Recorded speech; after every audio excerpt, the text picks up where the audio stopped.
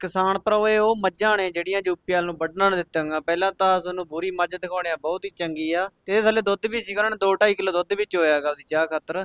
ਤੇ ਆਪਣੇ ਬਹੁਤ ਹੀ ਜ਼ਿਆਦਾ ਡਿਮਾਂਡ ਆ ਵੀ ਸਾਡੇ ਘਰੇ ਬੁਰੀ ਮੱਝ ਹੋਵੇ ਤੇ ਦੇਖ ਲਓ, ਇਹ ਵੱਢਣ ਨੂੰ ਦੇਤੀ।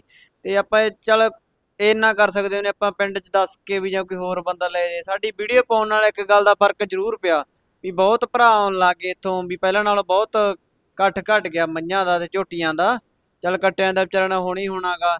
ਤੇ ਜਿਹੜੇ ਵੀ ਭਰਾਵਾਂ ਨਹੀਂ ਮੰਡੀ ਤੇ ਆਉਂਦੇ, ਉਹ ਮੰਡੀ ਤੇ ਆਇਆ ਕਰੋ ਤੇ ਚੰਗੀ ਚੰਗੀ ਕੁਆਲਿਟੀ ਦੀਆਂ ਮੱਝਾਂ ਵੀ ਹੁੰਦੀਆਂ ਤੇ ਝੋਟੀਆਂ ਵੀ ਹੁੰਦੀਆਂ ਤੇ ਕਟਾ ਦੇਖੋ ਕਿੱਡੀ ਸੋਹਣੀ ਕੱਟੀ ਹੈਗੀ ਇਹ ਤੇ ਪਹਿਲਾਂ ਨਹੀਂ ਹੈਗੀ।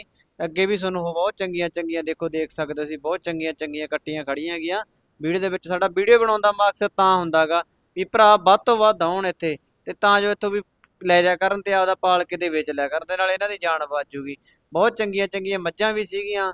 ਤੇ ਵਿੱਚ ਝੋਟੀਆਂ ਵੀ ਸੀਗੀਆਂ ਤੇ ਸਾਰੇ ਭਰਾਵਾਂ ਨੂੰ ਇੱਕ ਬੇਨਤੀ ਆ ਗਈ ਵੀ ਡੱਬ ਵਾਲੀ ਮੰਡੀ ਐਤਵਾਰ ਨੂੰ ਲੱਗਦੀ ਤੇ ਹਰ ਐਤਵਾਰ ਨੂੰ ਇੱਥੇ ਜ਼ਰੂਰ ਆਇਆ ਕਰੋ, ਤਾਂ ਜੋ ਕਿਸੇ ਨੂੰ ਕੋਈ ਝੋਟੀ ਜਾਂ ਮੱਝ ਪਸੰਦ ਆ ਜੇ ਤਾਂ ਖਰੀਦ ਸਕੇ।